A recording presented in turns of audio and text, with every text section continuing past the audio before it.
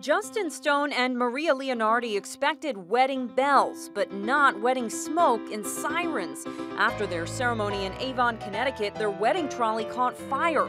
Thankfully, nobody was hurt, but the couple and their guests were out of a ride to the reception. That's when the Avon Volunteer Fire Department came to their rescue, offering to give them a different and more impressive kind of lift. They brought the bride and groom over on their fire truck for the 15 minute ride, flipping on the lights and sirens as they approached the reception. The grand entrance was completely off script, but the groom says their pastor did tell them it's the little things that go wrong that are the stories you will tell for years to come. He says this made marrying his best friend that much more special.